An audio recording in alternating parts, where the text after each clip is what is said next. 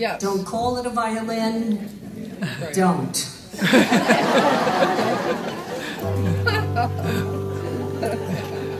so this is a true story. It's called Emily Remembers.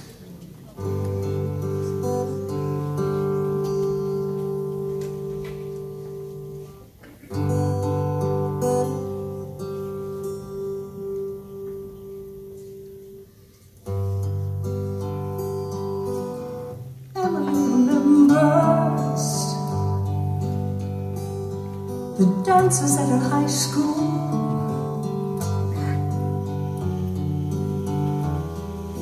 When she was young and carefree, some 40 years ago. Emily remembers standing on the bleachers.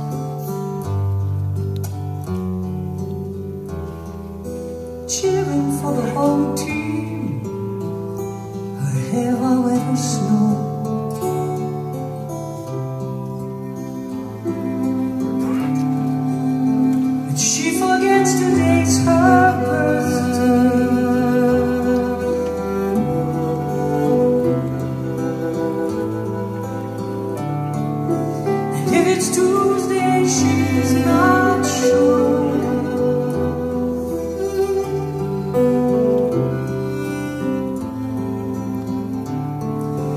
She forgets to call